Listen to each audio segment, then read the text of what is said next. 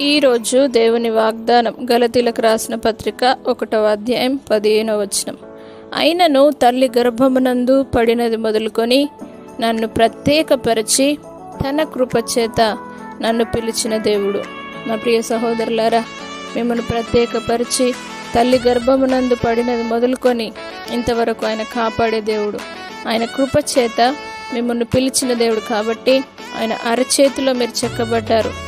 ఆయన కృపను బట్టి తల్లి గర్భమందు దేవుడు మిమ్మల్ని రూపొందించ రూపొందించాడు కాబట్టి నా ప్రియ సహోదరులరా మీరు ఎవరైనా సరే దేవుని ప్రసన్నతను పొందుకొని ఆయన ప్రత్యక్షతను పొందుకొని ఆయన మిమ్మల్ని పుట్టించినాడని ఎరిగి తప్పక దేవుడు మిమ్మల్ని కృపచేత పిలిచినాడని తెలుసుకొని ఆయన సన్నిధానానికి రండి తప్పక దేవుడు మిమ్మల్ని ఇంకా ఆశీర్వదించి అనేక మేళ్ళ చేత నింపి తన కృపలో భద్రపరిచి కాపాడునుగాక.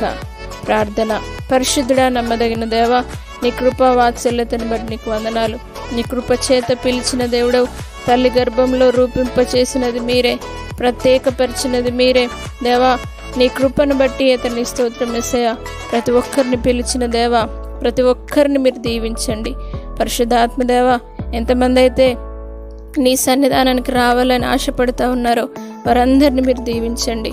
తల్లి గర్భంలో నుండి ఉద్భవింపజేసిన వాడా ఇప్పుడే ప్రతి ఒక్కరి జీవితంలో నీ రక్షణ చేత నింపి నీ అద్భుత కార్యమును జరిగించి దేవా నీ శక్తి చేత నీ కృప చేత నింపి బలపరచగలరని ఏసు పరిశుద్ధ నామను బట్టి అడిగి వేడుకుంటున్నాము తండ్రి. ఆమె